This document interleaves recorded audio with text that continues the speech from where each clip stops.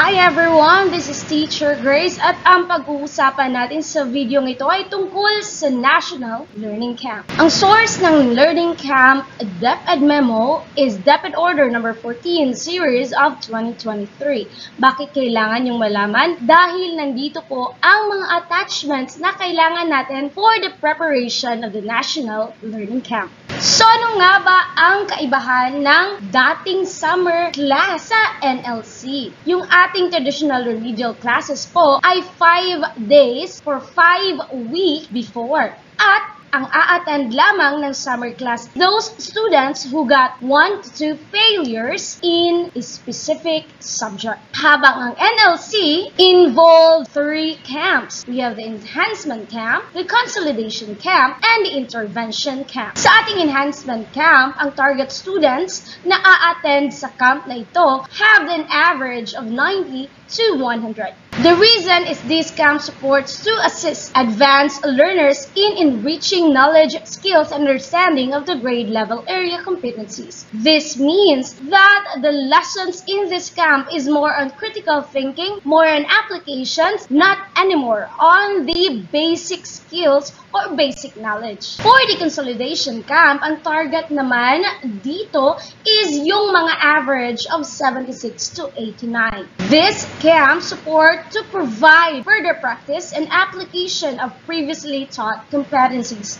So possibly in this camp, babalikan po natin ang mga lesson na ating na-take up na kung saan doon ang weakness ng mga students. Dahil in this camp, these are the students who still needs to improve on the subject or yun mang mga nakapasa ngunit malaki pa rin ang weakness sa ating subject. The intervention camp, ang a-attend po dito is yung mga average of 75, yung nakapasa lang talaga, And yung may mga 1 to 2 failures. Bakit 1 to 2 only? Kasi po, kapag 3 subjects and more, automatic retained na po si student. Kaya hindi na po siya pwede na umattend ng NLC. However, for the students who have 1 to 2 failures, pwede pa silang umattend ng intervention camp. Because the intervention camp supports high-need learners who are yet to grasp foundational mathematics and foundational English skills.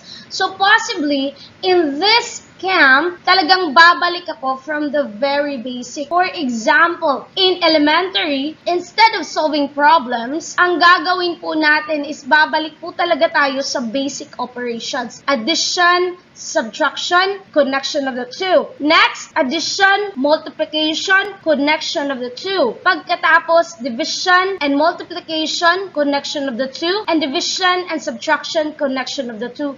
Bago po, babalik sa solving problems. For the secondary example in mathematics, the polynomial functions. So instead of talking about the polynomial functions, you are going to go back way back in grade 7. We're going to start with the algebraic notation, the number line, introducing of the number line. Babalik ka po sa grade 8, graphing, how to get the roots. Then, for the grade 9, loss of exponent, until po makakarating po kayo sa polynomial function. So, anong gagawin na pag-determine kung saan sila na camp na belong? So, aside from their grades, meron po tayong pre-assessment or diagnostic assessment.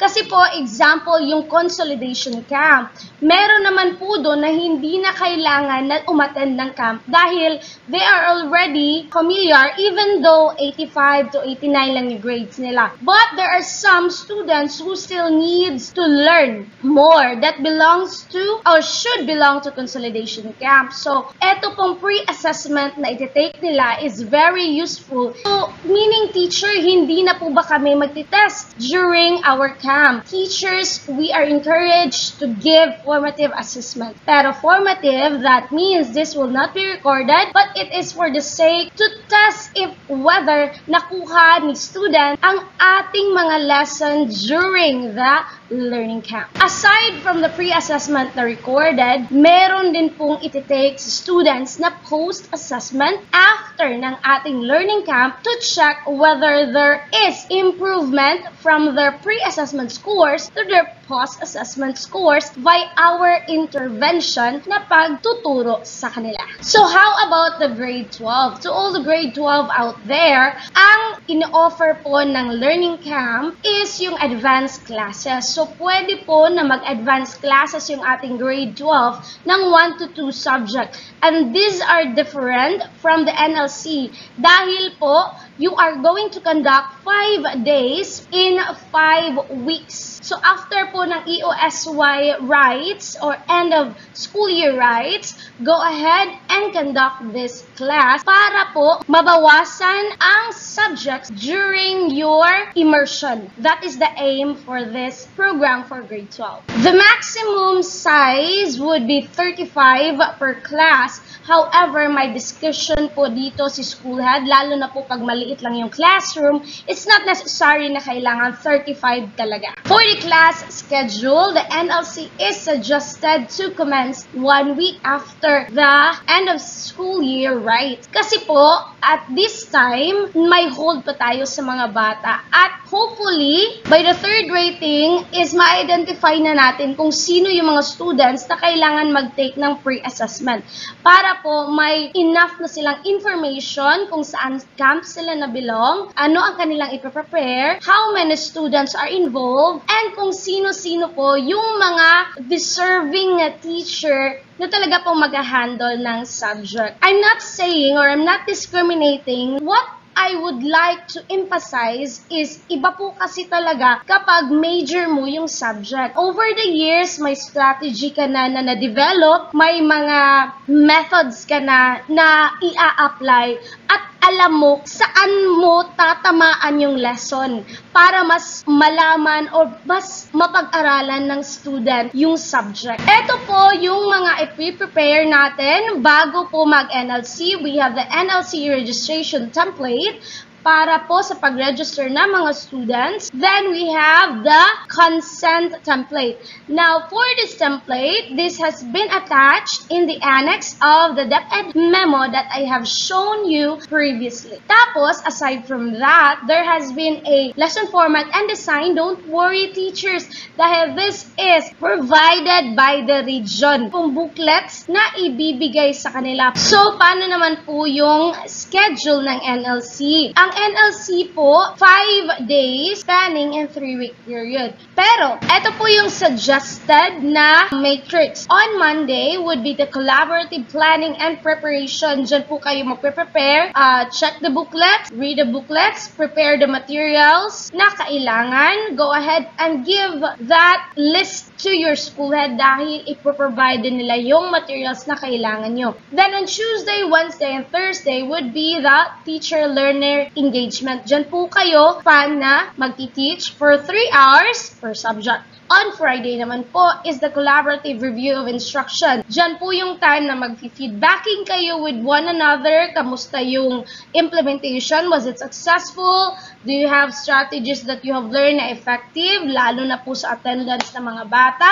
And kung ano-ano pa po ang kailangan gawin for the next. Now, this has not been practiced last implementation and hopefully this will be practiced this year. Yung feedbacking po natin sa ating parents. On Fridays, meron po tayong konting hour kung saan uh, we are going to have a conference with the parents para po malaman nila yung mga progress ng bata at kamusta naman po yung bata or yung mga absent during the NLC. Forward din po natin dahil baka ang nalaman ng parent is uma-attend ng learning camp tapos hindi naman po nag attend So we really need the cooperation of our parents in this program. Now, in terms of scenarios, wag po nating i-follow ang situation na ito na may baha, pero nag-teach pa rin si teacher at nag-aaral pa rin si student. Kapag po may calamities or emergencies, the declaration of suspension and cancellation would be automatic based on education and emergencies alternative delivery mode. Pero yung ating home learning activities, pwedeng online, pwedeng modular, or combination, nakadepende pa rin po sa severity ng situation. Ano-ano ang mga incentives sa NLC para po sa learners makakukuha sila ng Certificate of Completion that they are able to fulfill the requirements of the camp. Para naman po sa teachers, Certificate of Recognition. Meron din pong service credit na ibibigay. One workday of vacation of service credit shall be granted per accumulated 8 hours of services rendered. And meron din po tayong food allowance. Provided din po yung ating mga IM so hindi po natin kailangan na gumastos para sa ating mga instructional material. That's it for this video. I hope na may nalaman po kayo. Don't forget to subscribe, like, and follow. And if you have any questions, do feel free to comment. See you in the next video. This is Teacher Grace. Happy teaching.